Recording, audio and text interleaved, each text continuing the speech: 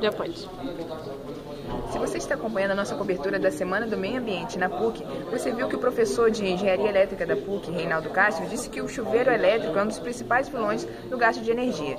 Mas, o, mas o, existe uma alternativa, que é o aquecedor solar, que também é bem utilizado, inclusive pelo professor, pelo diretor do Instituto Tecnológico da PUC, professor Sérgio Braga, que diz que economiza quase 70 reais por mês em casa. Professor, você poderia explicar para a gente como funciona esse chuveiro com aquecimento solar? É, o aquecimento solar não é nenhuma novidade, já existe há décadas, né?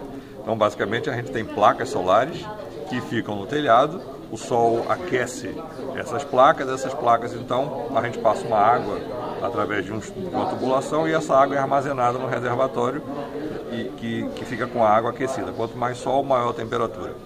É, sistema tem condições de, de, de, atingir temperaturas muito altas, acima de 60 graus.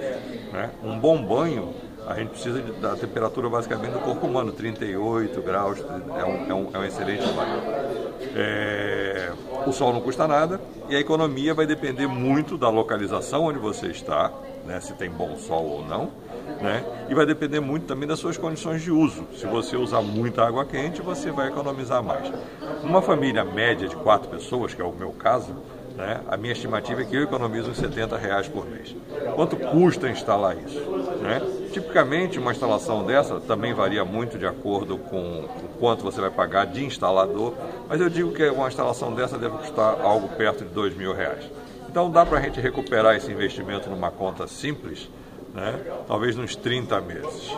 Como a vida útil desse equipamento são superiores a 10 anos, você em dois anos e meio a três você amortiza o seu investimento e os outros sete anos, pelo menos, você tem energia de graça.